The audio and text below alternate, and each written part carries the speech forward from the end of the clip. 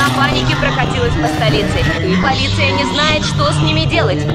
Передаю слово мэру